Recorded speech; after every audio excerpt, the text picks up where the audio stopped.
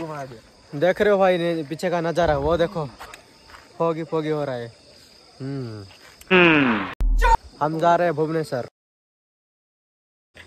और बहुत टाइम लगेगा पहुँचने के लिए। और चलो चलो चलो कुछ बोलना चाहोगे भाई? आ जाओ कोई इधर। अरे भाई उड़िया कौन से उड़िया? तुम हिंदी वाला हो ना इधर? आ हाँ भाई नहाने के लिए चले बोलना